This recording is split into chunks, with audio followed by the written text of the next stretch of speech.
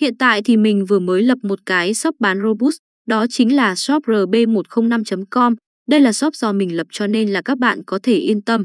Link shop thì mình sẽ để ở dưới cái video này. Ngoài bán Robust ra thì shop còn có các dịch vụ như bán game pack, trái ác quỷ vĩnh viễn và cả cày thuê siêu tốc giá rẻ và siêu uy tín. Shop mình còn bán Uplock Fruit Mark Level và rất nhiều đồ ngon chỉ từ mức giá 49k và 99k. Còn nếu các bạn lo sợ điều gì thì hãy thử nạp 10k vào shop mình để test độ uy tín siêu cấp VIP Pro nhé.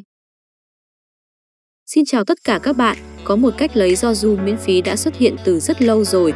Tuy nhiên thì, đến nay thì còn rất ít người biết. Thậm chí là nó đã bị lãng quên trong blog Fruit. Và trước khi bắt đầu video này thì đừng quên cho mình một like và bấm vào nút đăng ký kênh nhé. Cảm ơn các bạn rất là nhiều. Ok thì cái cách lấy Joju này nó có liên quan đến một con boss và có thể nói tất cả các bạn ở đây 99,999% đều chưa gặp con boss này bao giờ và các bạn cũng không hề biết đến sự tồn tại của nó trong blog post và con boss này chính là mắt diều hâu Mỹ Hóc. Sau đây là một số thông tin liên quan đến con boss này thì con boss Mỹ Hóc này sử dụng một thanh Joju, đặc biệt là nó có mức level là 10.000.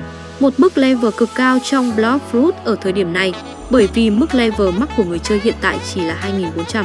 Và con boss có mức level cao nhất được biết đến chính là boss Rip Indra với mức level 5.000. Ở cái level 5.000 thì Rip Indra đã vô cùng mạnh rồi. Vậy thì không biết boss Mỹ Hóc level 10.000 sẽ mạnh ra sao nhỉ?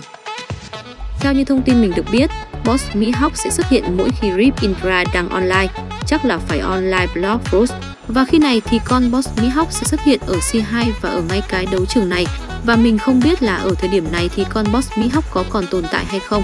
Mình chơi game từ khi game vừa ra mắt nhưng mình vẫn chưa bao giờ gặp được con boss này. Còn anh em thì sao?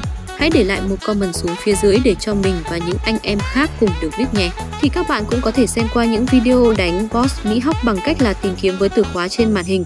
Còn bây giờ, xin chào và hẹn gặp lại các bạn ở những video tiếp theo.